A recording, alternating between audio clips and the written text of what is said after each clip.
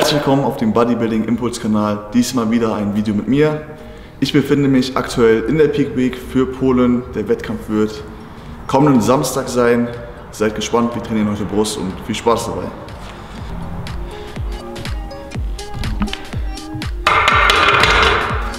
Weißt du noch, was du letztes Mal wog, als ich letztes Mal hier war?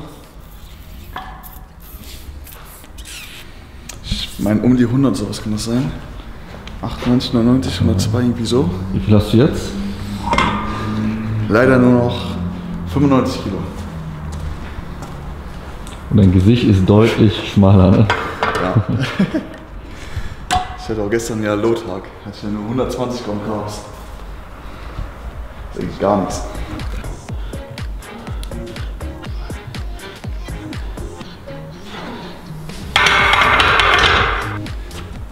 Frage, wie schön man trainiert.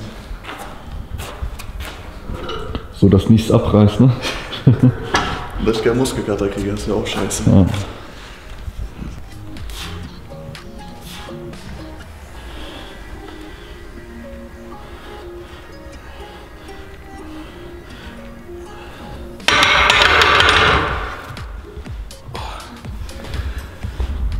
Von der Kraft her merkst du einen Unterschied zwischen den letzten Wochen? Ich doch. Also letzte Woche ging die Kraft runter und Ja. heute wegen den hohen Carbs wieder Ja. deutlich nach oben zum Glück. Okay. Das ist halt richtig nice dann. Ich werde auch wieder prall und voller. Das auch schon mal ganz gut. Ich darf ja nur 102 haben. Na gut, du hast ja, du ja weit runter eigentlich sogar, ne? Aber je nachdem, wann die Waage halt ist, weil die halt erst gegen, also bei meiner Klasse gegen 17 Uhr ist, ich habe hier schon Carbs drin habe, ja, die wie viele Tage ich jetzt habe, kann es schon wieder eng werden. Echt? Du hast jetzt 95 Kilo. Ja, Bis 102 darfst du wiegen. ja. So kann das Gewicht so hochgehen bei dir? Ich hatte gestern Morgen auch 95 irgendwas, Ja. am Abend halt 98 irgendwas, ne? Ach so, ja gut. Das sind drei Kilo. Und da hatte ich 120 Gramm Carbs. Weil plus dreifacher an Carbs, ne? Who knows? Wenn ich jetzt so die nächsten Tage wieder Kohlenhydrate essen darf, kann das lustig werden.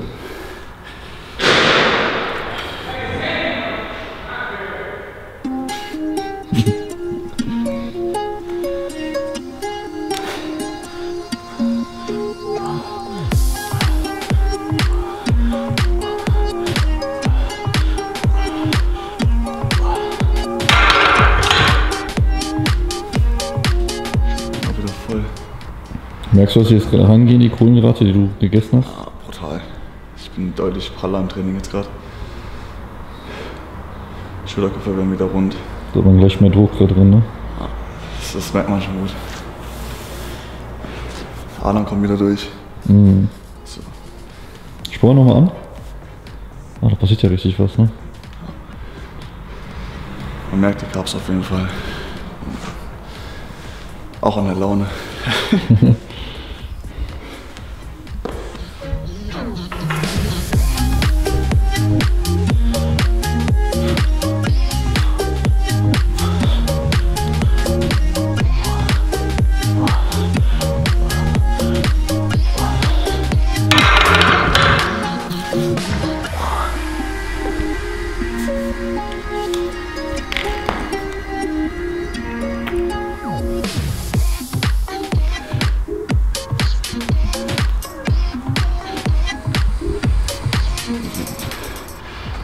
auf jeden Fall gut Wie sehen die Beine aus?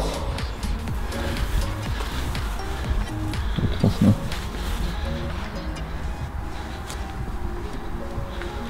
Eine kommt noch. Oh, ist auch. Auch dünn. Form ist auf jeden Fall ganz akzeptabel.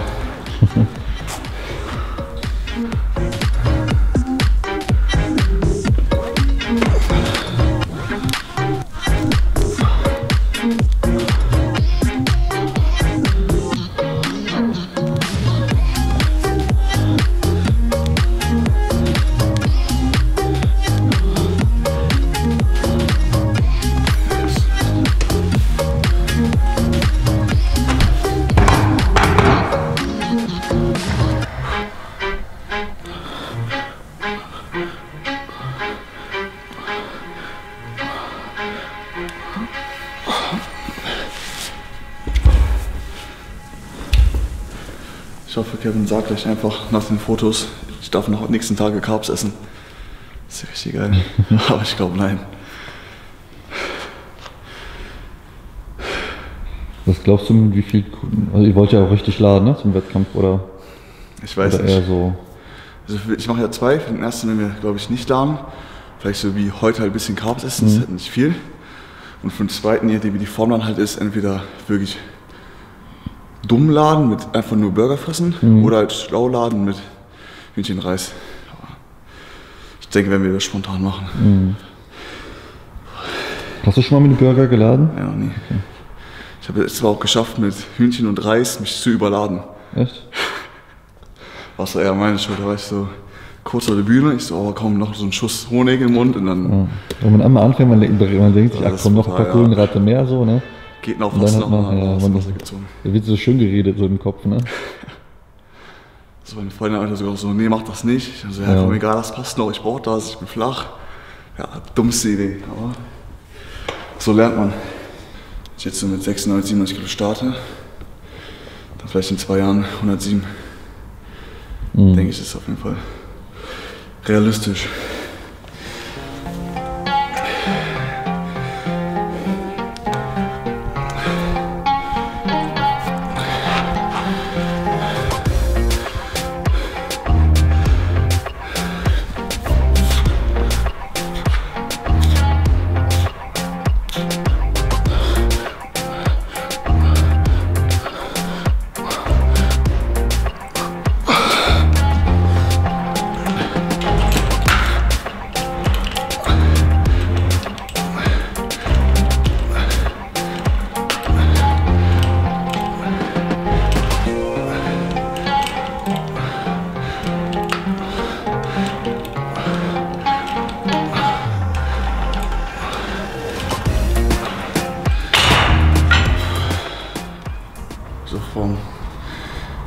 Denke ich.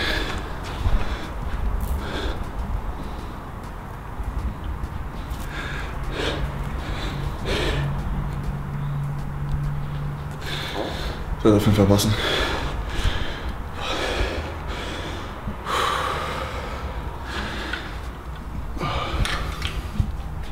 Man merkt, die Cups auf jeden Fall richtig brutal. Cool, ne? Hast du viel Spaß daran, Cups zu trainieren?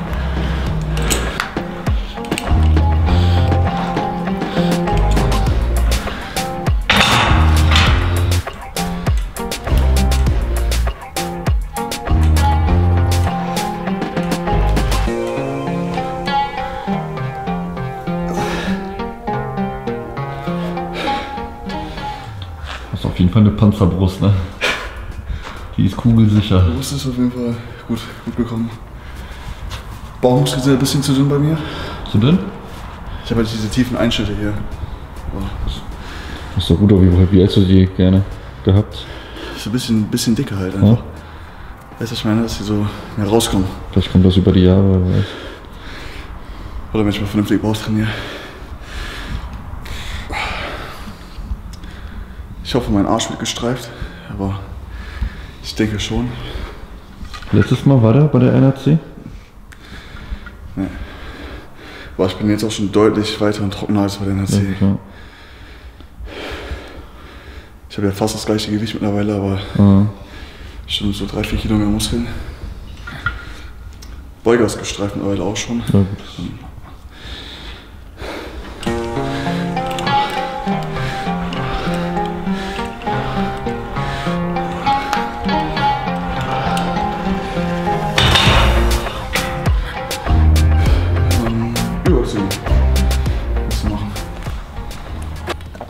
Salz äh, nimmst du am 12? Ganz normal oder zählst du? Ähm, 6 Gramm, ne 8 Gramm. 12 von dem Pre-Workout. Ist auch noch alles echt normal bei mir. Das ist so eine richtige Hassübung bei mir, Überzüge, ne? So, wenn ich so leichtes Gewicht nehme, spüre ich extrem gut, aber es ist halt nicht anstrengend. Nehme ich mehr Gewicht, spüre ich die gar nicht mehr, ist aber dafür anstrengend. Ich will einfach keinen Fall nicht machen, so am besten.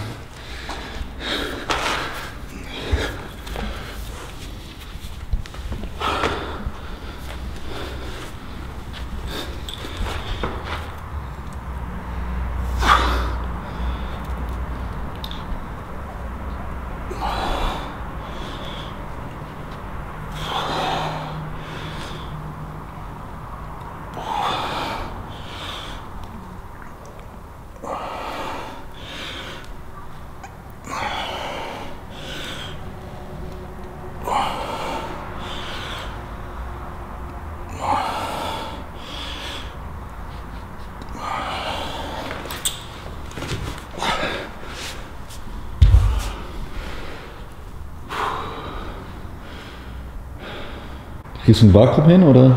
Ich glaube nicht. Nein, nicht wirklich. Ach, muss man auch nicht machen. Gut, dass du auch gerade gegessen hast, kommt auch noch dazu. Ja, solange die Taille schmal wird auf der Bühne, ist mir das relativ egal. Ja. Ich nicht so eine, so eine Wachswampe dann habe mit vollgefressen.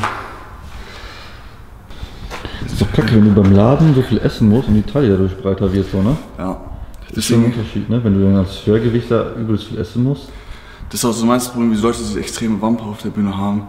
Guck mal, du mit 1000, 1000 Gramm Carbs lädst, normal aussehen von der Wampe, ne? Das ist halt eine Menge. Aber ich denke, weil wir werden auf jeden Fall mit Fisch laden, weil Fisch ist halt extrem angenehm für die Verdauung oder halt Eikra. Ja, der, ob ich Fisch in Polen kriege, ist die Frage.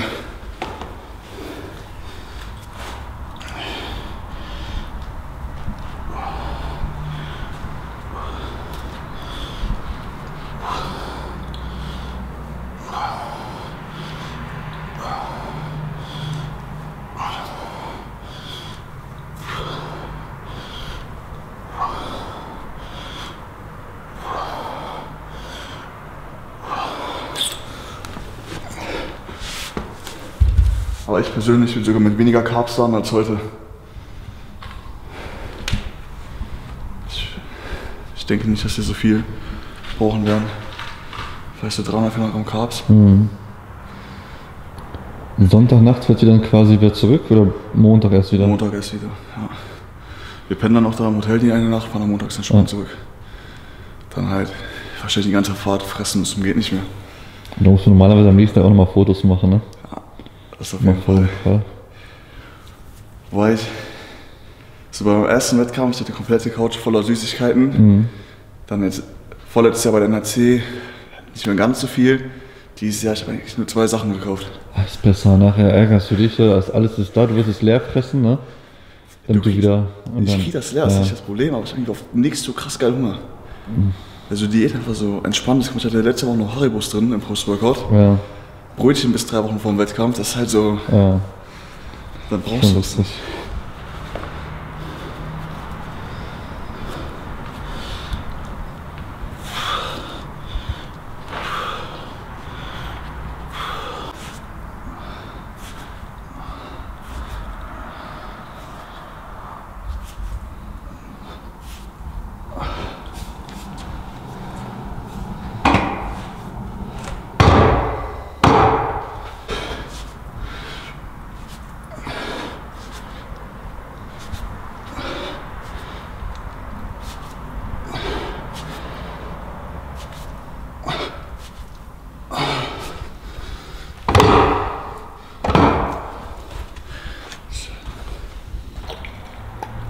Körpergefühl ist das schon angenehmer, ne? Wenn man so ein bisschen leichter ist. Ja. Wenn ich jetzt nicht auf Diät wäre, dann wäre noch angenehmer. Weil ich ja Carbs heute habe, ist echt alles perfekt. Ich will mich gar nicht beklagen. Das Fett hast du bei wie viel Gramm? Ich meine, Kevin meinte letztens was um die 80. Ah, okay. Eiweiß so 400, 350 sowas. Dann halt Carbs jetzt. Weil eigentlich geplant heute 180 Gramm. Wurde ja mehr. Ja,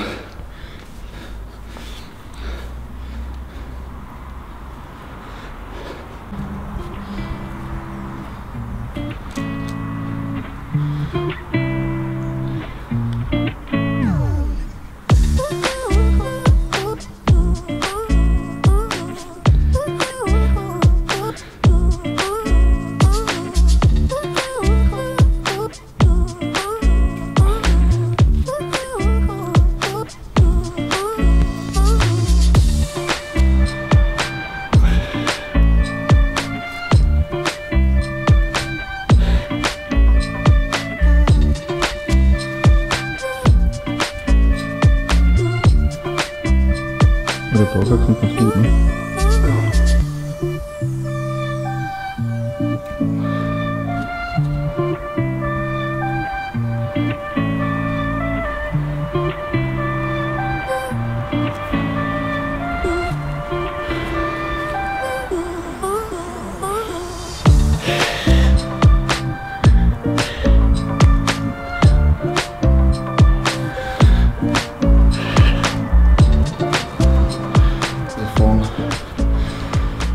Wasser rauskommt, passt. Kevin ist auch zufrieden, ne? Ich habe gerade geschrieben. Ja. Ach, hat er schon geantwortet?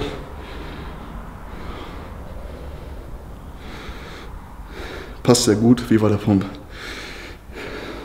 So, das war mein letztes Brusttraining vor dem Wettkampf. Morgen trainieren wir nochmal Rücken zusammen, ne? Mhm. Perfekt. Ähm, ja, ich hoffe, es hat euch gefallen, das Video. Ihr habt einen kleinen Einblick bekommen in mein aktuelles Training in der Peak Week. Ich werde ja jetzt am kommenden Sonntag dann starten in Polen sowie Samstag. Seid gespannt, schaut gerne bei Bodybuilding Impulse vorbei. Abonniert den Kanal, kommentieren, Glocke markieren und viel Spaß euch. Wunderbar.